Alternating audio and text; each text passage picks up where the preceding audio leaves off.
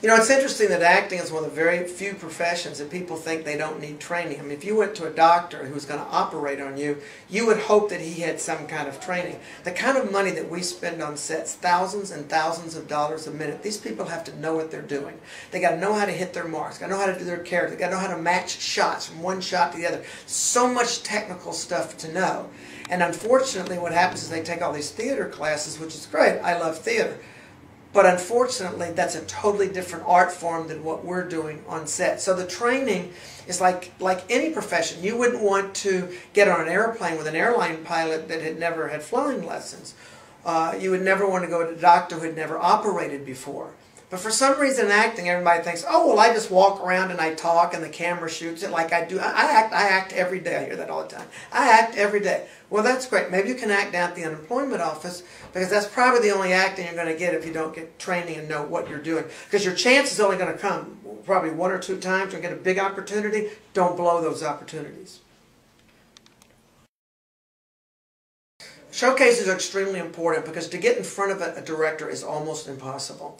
To get even in front of an agent, agents are very careful on who they see. They have so many actors already they can't get work for. It's like, why do they want to take on another talent? So someone has to really catch their eye. And the way you do that is you do showcases. The agents come to the showcases. Most of the people that I know that have agents that are actors got their started their start by doing showcases and an agent was in the audience. I think they're wonderful. I think you should do showcases because you've got to be seen. I don't care how talented you are. If the people don't see how talented you are, it doesn't matter how talented you are. Um, well, first of all, I've known you for, I can't even count how many years, uh, a long time. And the way I know when someone's legit or not legit is over time. I can't tell in a month or even a year. But my relationship with this studio was way before this studio was even here. So I like coming here because I'm very careful where I go and do a seminar. And the reason is this. I have four best-selling books out at Barnes & Nobles and other bookstores about the entertainment industry and who's legit and who's not legit. And I go on all, a lot of talk shows and uh, I'm kind of the resident person that talks about who's legit and who's not.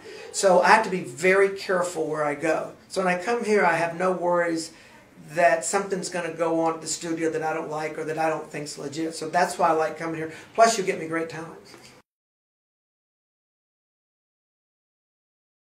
Well, mine's different than almost probably any class has ever taken because I don't really necessarily teach how to act. I cover that, but I really teach how to go in and get a job.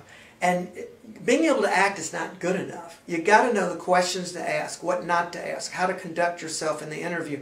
So although I cover the acting, my seminar is more about how to go in, give us a performance that I can edit, that I can cut, things that a director looks for. Because the person who's going to ultimately cast this show is going to be the director. You might have to read for the casting director and the agent and the producers and all these people, but the bottom line is when it gets down to the agent, I look at a performance, it's not just can they act, but are they giving me the shots in between the lines that I need to cut in the reaction shots and the opening shots and the closing shots of a line? And editing wise, are they giving me what I need so that I can go into an editing room and cut what they're doing? It doesn't matter how good they are.